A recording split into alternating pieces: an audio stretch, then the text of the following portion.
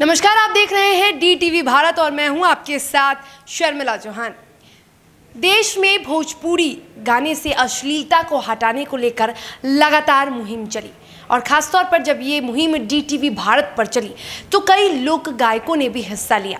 कई ऐसे गायक भी हैं जिन्होंने बढ़ चढ़ कर इसमें हिस्सा लिया और भोजपुरी से अश्लीलता को हटाने की मांग कर डाली। सरकार से, बिहार सरकार से भोजपुरी को आठवीं अनुसूची में शामिल करने की मांग की। हालाँकि अब भी ज़्यादा कार्रवाई तो नहीं की गई है, लेकिन कहीं ना कहीं ये मुहिम रंग लाई। डीटीवी भारत पे दर्शकों का भी प्यार मिला और ऐसे में कई ऐसे सुप्रसिद्ध गायकों ने भी इस मुहिम का में हिस्सा लिया। अब बारी है एक ऐसे लोक गायिका की जो अक्सर अपने साफ़ सुथरे गानों की वजह से जानी जाती हैं। हम बात कर रहे हैं लोक गायिका, मशहूर भोजपुरी गायिका देवी की।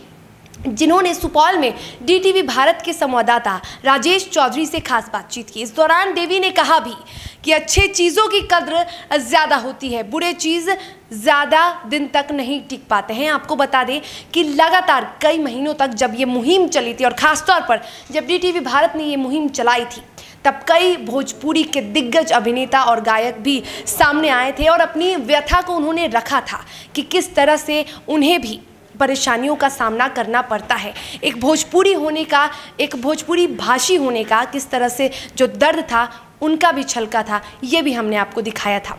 आपको बता दें कि लगातार भोजपुरी भाषा में अपशब्द, अश्लील गानों का प्रयोग करने की वजह से ही भोजपुरी जो भाषा है उसे बदनाम करने की कोशिश की जा रही है। और इस पर लोक गायिका देवी ने भी अपनी टिप्पणी की, अपनी प्रतिक्रिया ज़ाहिर की है। क्या कुछ कहा है? देवी ने, ज़रा आप भी सुनिए।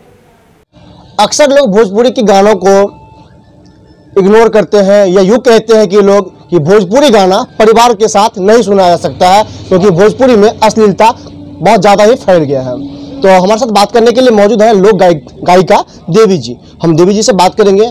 सबसे पहले आपका बहुत बहुत स्वागत है D thank you so much ma'am हम जानना चाहेंगे कि वर्तमान समय में जो भोजपुरी में अश्लीलता फैल रही है उसको लेकर क्या कुछ कहेंगे? देखिए मैं यही मानती हूँ कि आ, किसी भी अच्छी चीज़ का ही महत्व होता है और अच्छी चीज़ें जो है लोगों के दिल में स्थान बनाती है असर करती हैं। तो जो भोजपुरी के अश्लील गाने हैं, भले ही वो बहुत ज़्यादा संख्या में सुने जाएँ, लेकिन वो स्थायित्व तो उसका महत्व नहीं है और लोग उसको सुनते भी और भूल भी जाते हैं। तो मुझे इस बात की बेहद खुशी है कि मेरे अच्छे गीतों को लोगों ने पसंद किया और आज भी मैंने जब गाना स्टार्ट किया था सत्रह साल पहले और आज सत्रह साल बाद भी मेरे शोज़ लगातार चल रहे हैं, लोग मुझे पहचान जाते हैं और उन लोग मेरे पास आते हैं तो ये मेरे खुशी की बात है। मैम, जानना चाहेंगे कि सबसे पहला गाना आपका कौन सा रहा था? सबसे पहला गाना था पूर्वा बयार जो कि काफ़ी लोकप्रिय हुआ था। तो मैं अपने दर्शकों को सुना भी देना चाहती हूँ। ज़रूर ज़रूर। बहे के पुरवारामा बह गईल पाछुआ सजनवा रे। अब बह गईल शीतल बेयार मोर सजनवा रे। बह गईल शीतल बेयार। और वर्तमान समय में जो देखा जा रहा है कि बहुत सारे लड़के लड़कियाँ गाने इस दौर क्षेत्र में आ रहे हैं लोग गाना गाते हैं लेकिन फुहर गाना गाते हैं उनके लिए क्या कुछ कहेंगे?